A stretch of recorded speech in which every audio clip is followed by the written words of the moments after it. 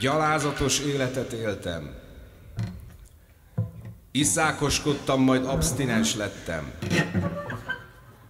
De ugyanakkor lányok után szaladtam.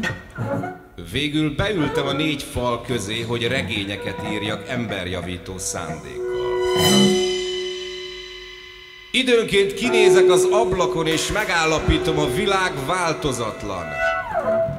A nap ragyog, a nők gyöngyfűzért hordanak nyakukban, és látom a házakat, amint kivilágított szemeikkel, miként a jóságos állatok Isten áldására várnak az estében.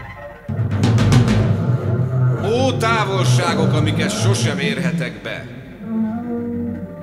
Ó, boldog termősége a földnek!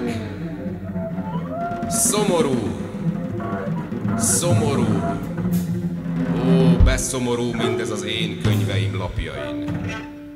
Akárha kiszáradt kút előtt állnék a pusztában, szemem tükrét hiába forgatom az idő tengelyén, hiába kiáltok.